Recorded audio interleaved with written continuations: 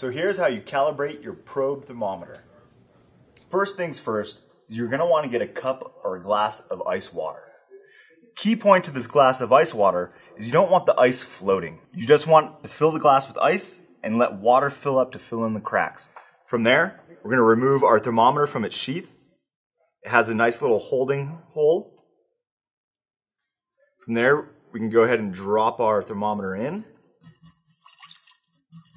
Try and get it so that way it sits in the center, doesn't come in any contact with the glass. Go down to the bottom and come up just a little bit. The nice thing about these thermometers is you can hang it on the end right there. So right now we see 40 degrees Fahrenheit, but we also know that ice water should be 32 degrees. So basically what we need to do is decrease and calibrate this thermometer down 8 degrees. What we're going to do is take this out. If you notice, the bottom of your thermometer has a little nut. If you also notice the top of the case is just like the wrench for that nut. So go ahead and drop this back down in your casing. From there, you can take your reading. So you see it's at 70 degrees right now. We need to go down approximately 8 degrees.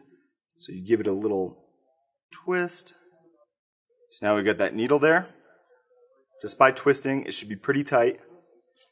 Take it out, and let's check it again and should be stopping about one tick above that 30 triangle. I'm Chris Devano for Tundra Restaurant Supply, and that's how to calibrate your thermometers.